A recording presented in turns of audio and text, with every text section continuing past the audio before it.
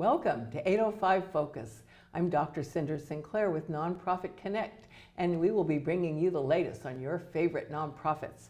So get ready to be inspired. Our special guest today is Renee Grubb, and Renee is the founder of Teachers Fund.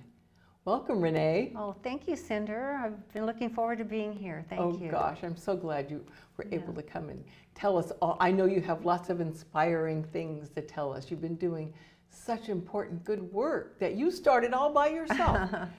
so, well, I get I have a lot of help, but you're right. Yes. Yeah. Um, so yeah, just a little history on Teachers Fund mm -hmm. is that we um, we started in 2002. Okay. So, um, and uh, we just saw a need uh, that um, for children, and we had heard that a lot of our teachers um, come out of pocket to fund things oh, in their classroom.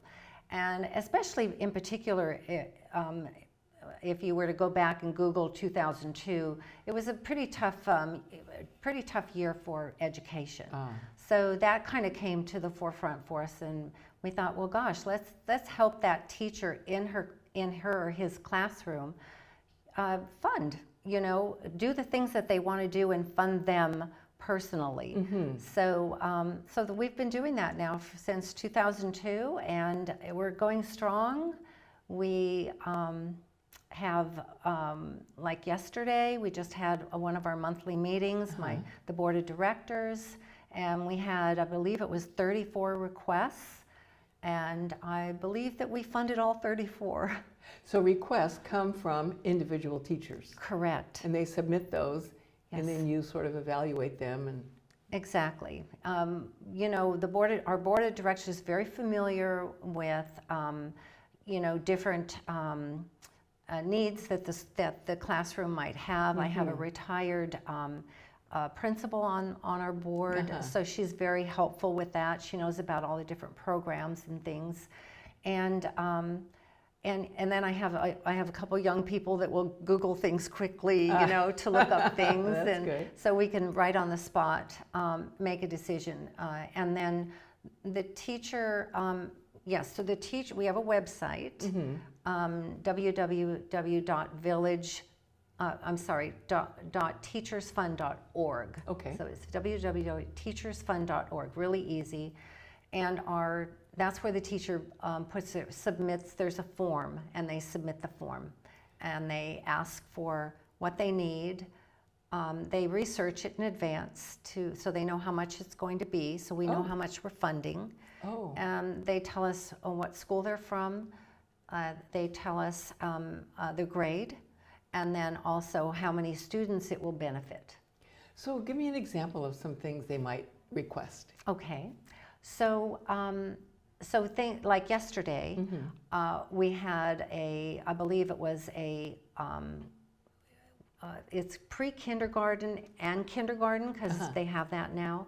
And by the way, we, we fund kindergarten through um, 12th grade. Okay, gosh, you do it all. We do, and we do public and private schools. Oh, that's good. And we do all of Southern, um, South County, and we do part of North County, and most of North County. We, we um, up, up to Lompoc, I believe. Okay, okay. Yeah. And so, yes, so the teacher goes in, um, so yesterday, yes, talking about yesterday, um, so we have a, a, a, a preschool, pre-K kindergarten teacher that requested um, that she build a garden, an oh. herb garden, and off of her patio. So, uh -huh. so you know those raised. Oh yes, yes. Yeah, the raised gardens. So we funded that for her, and oh, um, yeah, and, and that's like a photo op. Yes, right? of course. So we asked her to take a photo of it. Yeah. Gosh. Now, I thought, or I thought anyway, that the school district would provide a lot of the materials and all, mm -hmm. but th that doesn't always happen? Well, they obviously they pro provide a lot. Yes, they um, do. And but these are the kinds of things that that if they were to ask the school district to, you know, they have to submit. Oh. And, and then it takes a while and you know all of that and, and then sometimes it either doesn't come in time or um, they may get denied. Uh-huh. And so ours are a little unusual. I'm not sure if the school district would fund a garden, right? Yeah, sure, sure. Um, we do um, things like if a, if a teacher wants to put a little play on or something Oh. And want some costumes, um, or even perhaps to buy the scripts and things like that, or music to go with it, um, we fund those kinds of things. Okay, so Yeah. costumes.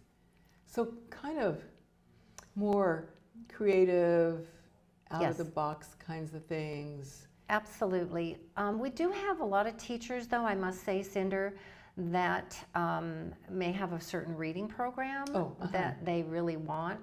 Uh, and if it's something that we're not sure of, then we, have we have them ask the principal to get approval. Oh, oh, sure. And so if the principal says, oh, yes, that's, you know, that's just fine, then we, we fund those too. So we do a lot of educational things. Um, for example, um, of, of not very, I think it was just pre, pre-COVID, we funded a um, robotics Oh, at, Wow. um, yeah, out at Dos Pueblos High School. Oh, So that pretty would be, cool. That might be hard for the district to, you know, uh, okay, or, Yeah. you know, it's not a regular curriculum type thing. But this science teacher really wanted to do this project, and we thought it was so great. We, we said yes. so beside, in addition to your um, board of directors, Yes. who else helps you w- with this? Well, I mean, I have to say, our agents um, at Village Properties, as you So know. you're, so you're the owner of Village Properties, and so you, the agents that work with you. Exactly, exactly. And, you know, they're not required um, to donate to the Teachers Fund, Uh-huh. but I can tell you that a large majority, especially when they close an escrow, they will Oh, just. gosh. Yeah, they'll carve out, um, you know, some funds for Teachers Fund. So we get funded that way, and then, um, and then I have actually a group of my uh, agents who uh, do a, a back-to-school supplies drive. Oh, wow.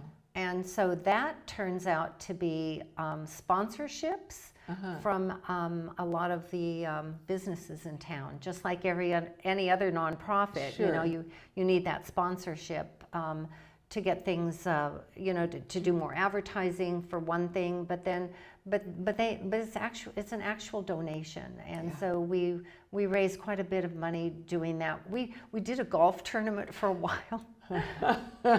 me with a golf tournament, but um, it was um, it- that's hard. And so we decided, oh, let's just try this, and it, it's been working out beautifully. And Oh, then we, we do a big party at the end and thank everybody. And um, so we're, we we we do quite well. We're, we're we we have a lot. We keep we try to spend as much money as we can in a in a school year, though. We Oh. really want we don't want to have money in the bank. Ah, gotcha. Yeah, we, we, you know, and the one thing um, Village Properties does is we pay for everything. We underwrite everything. So if you were to give fifty dollars, a dollar, a hundred percent of that goes toward the teachers fund. Oh, I see what you're saying. Yes, yes, that was something we decided at the very beginning. That's really great. Yeah. So you're a 501c3 nonprofit, Yes, yes. and so a person can make a financial uh, contribution that is tax deductible, exactly. and they could probably go on your website, Yes. and maybe you have a donate button. I do, I do, yes. So Yeah. that's, we try to make it as easy as possible. So then that would, as a donor, that I would feel very good about the fact that 100% of my donation goes right in to that Exactly. fund. Exactly, yeah. And, and we've been doing that from, from the very beginning. We just felt that, you know, this is something that we were passionate about and we, you know, we love our teachers. We know how difficult it is for them to, um, you know, maneuver things, especially if they don't have all of the, uh, you know, all, all of the items or, or supplies that they Yeah. need. Uh, another one that we fund quite a bit is like organizational type things within the classroom. So, like they'll, uh, the teacher will say, you know, I've got you know 24 children, and I would like to get these little packs that they can put behind their chair, and have all of their um, supplies in so that they don't sit up on top of the desk and it's much more, you know. And so, you know, again, photo ops. Um, I remember one teacher wanted one of the, at the very beginning. It was so sweet. It was at Adams School, and she wanted a um, she wanted one of those big staplers Oh, the you know the, the, the mighty staplers. And we actually, she invited us over, and we sat in these tiny little chairs, and uh, and we had a photo op of that, and it was so cute. Yeah. how So funny. it's fun. We have we have so many stories. Um, you know, I've uh, again back to uh, Adams School, the principal there, who's just amazing, has helped us do little commercials for Teachers Fund Oh, that we put on cable, and um, yeah, I bet it's they like that. well, just trying to get donations. You know. yeah, sure, sure. Yeah. Yeah. So Gosh. So, you, oh, okay, so you've been doing this for a little over 20 years Yes, then. yes. Mm-hmm. Gee whiz. So, um, I mean, I, I think I remember when you started it, but I didn't realize it was 20 years ago. I know. Gee, so, um, in that time, then, do you have a sense of how much you've donated to uh, I teachers? do. I, I actually, before I was going to come on the show, I, I asked our, um, our, ta- our accountant, um, where are we right now? And he said that we have funded uh, around two million four hundred and fifty thousand. Wow, we. I know. I That's a lot. It is a lot.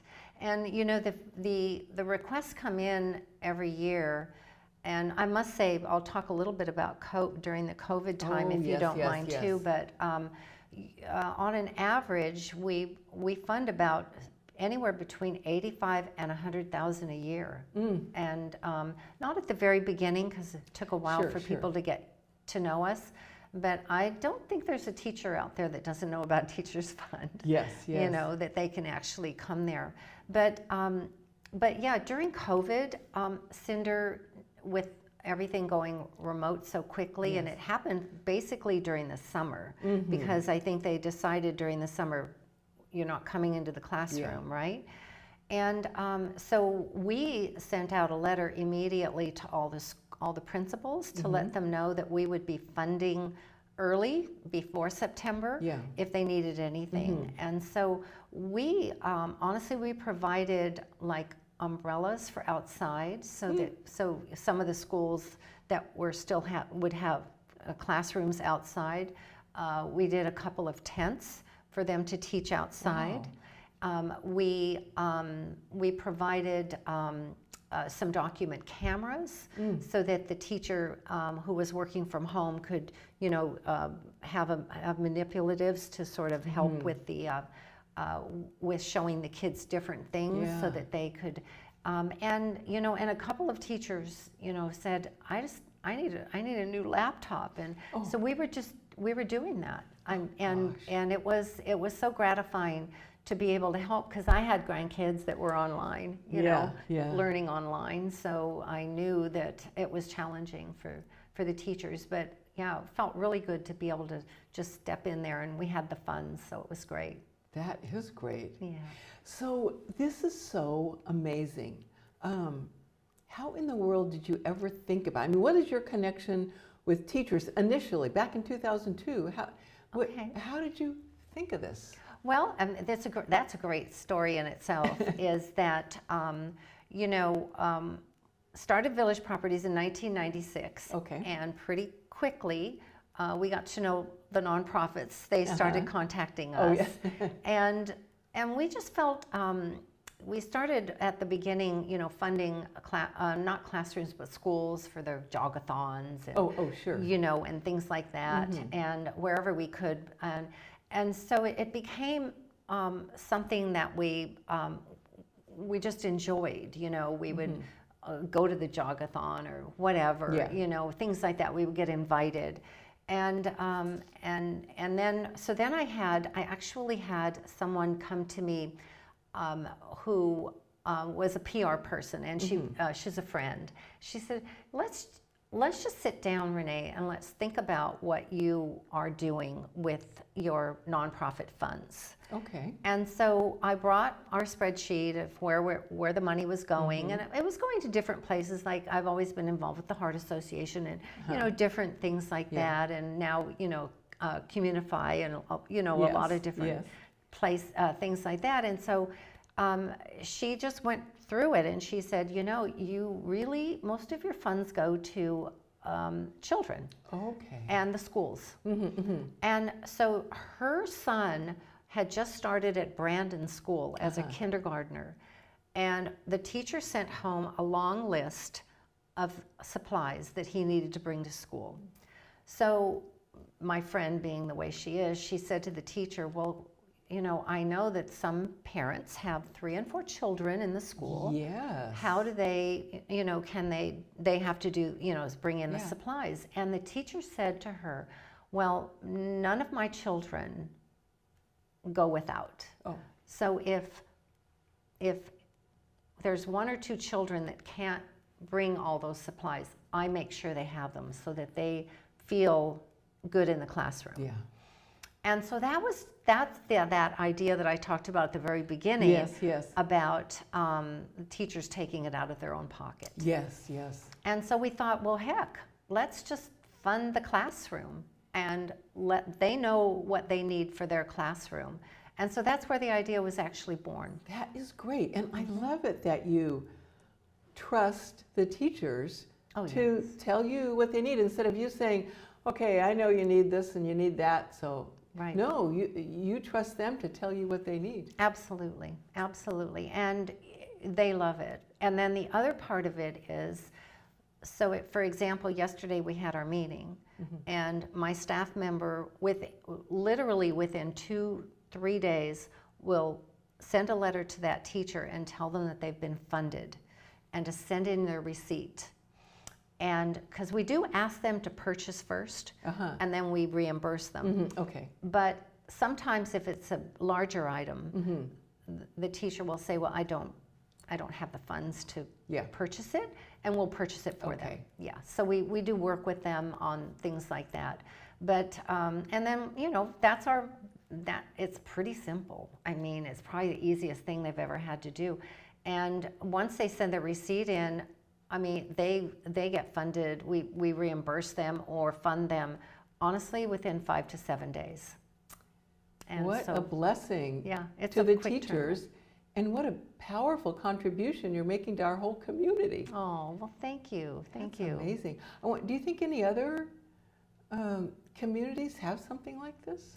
Well, you know, I honestly tried to get a couple of um, company, real estate companies up Oh. in North County Oh, uh-huh. because we can't service like Santa Maria, and they're they have an amazing need, and Yes. they do, yeah. And um, and I haven't. I said we'll we'll teach you everything. Yeah. We'll show you. We'll give you our Yeah. software. We'll do everything. And you know, I don't know. Everybody, you know, it's hard. It's hard to start something. Maybe someday. Maybe someday. I'm still they- working on it. I'm, Good. Or, you know, if we can raise, um, continue to raise funds, then I would like to include North County, all of North County. That is would great. be wonderful. Oh gosh, Renee. Yeah. Thank you for your very inspiring story Oh, and for all of your great work and telling us all about it today. Absolutely, absolutely, my pleasure. And thank you for joining us on 805 Focus, and we'll see you next time.